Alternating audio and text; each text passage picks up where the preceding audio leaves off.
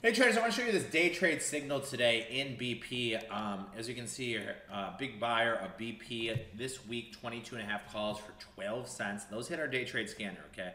If you got in this trade, your profit targets for 15 and 18.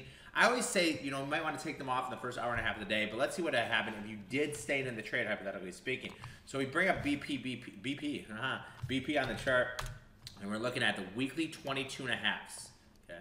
And we can see here a big buyer of these so the volume is going to be on the bottom. That's where the buyer came in. And then we see that big surge here on these options from 12 cents to the high of the day of 41 cents, guys. So you could have got into this day trade for 12 cents, potentially made 300% returns if you got in at 12 cents and you held them. Said my high of the day was 41. It might have only been 35. So let's just call it 35. 12 cents to 35. 200% profit on this day trade signal mentioned on CNBC.